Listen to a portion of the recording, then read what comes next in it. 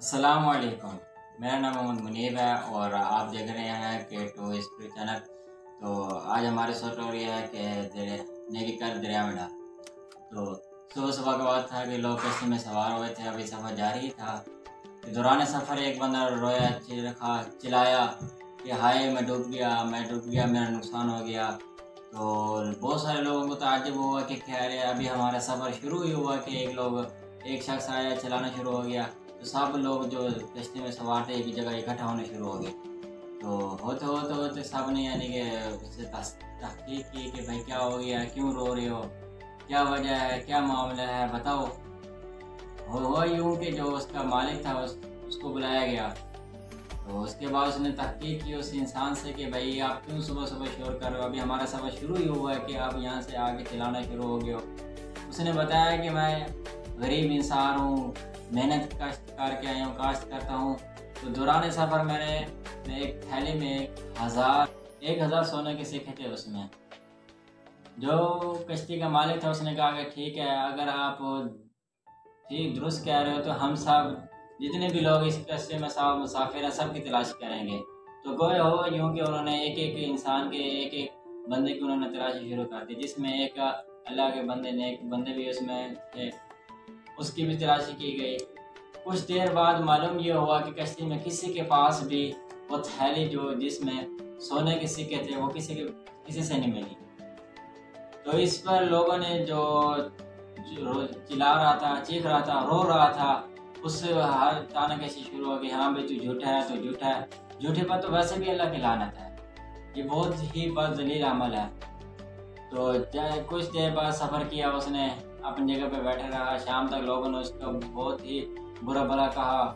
ہوتے ہوتے شام کو سفر جب آخر تھا، لوگ اتر گئے نیچے وہ اس نیک انسان کے پاس آئے۔ اس سے پہلے پس منظر یہ ہے کہ جب لوگ اپنی کشتی میں سوار ہو رہے تھے سفر کے لیے، سب ایک ایک جگہ پہ اپنی اپنی سیٹیں دیکھ رہے تھے۔ تو جو چیخنے چلانے والا شخص تھا، یہ ایک اس عالم کے پاس آیا بیٹھا، اس نے دیکھا کہ اس کے پاس جو تھیلی ہے، اس میں سونا ہے۔ اس نے پوچھا کہ، اے اللہ کے ولی، آپ کے ہاتھ میں جو تھیلی اس میں کیا چیز ہے؟ گویا کہ اس کے دماغ میں یہی تھا کہ کوئی نہ کوئی چیز، کوئی قیمتی چیز ہوگی جو یہ لے کے جا رہے ہیں۔ تو اللہ کے ولی نے کہا کہ ہاں اس میں سونے کے سکے ہیں جو کہ ہزار ایک کے قریب ہیں۔ وہ میں اپنے سفر اور بسر اوقات کے لیے لے کے جا رہا ہوں۔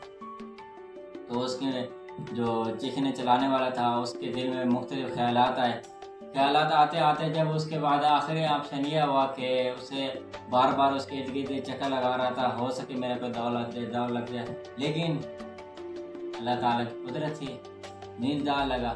آخر کار اس نے پھر چیخنا چلانا شروع کر دیا۔ ہائے میں ڈوب گیا، ہائے میں لٹ پلٹ ہو گیا، میرا مال گم ہو گیا، میرا جان جو میں نے قیمتی چیزیں میں تھی، وہ چیز چوری ہو گئی۔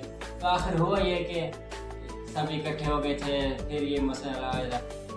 اب اس چور نے، اس عالم سے پوچھا، یہ بتاؤ، تمہارے پاس تو وہ ہزار سونے کے سکے تھے، وہ کدھر گئے؟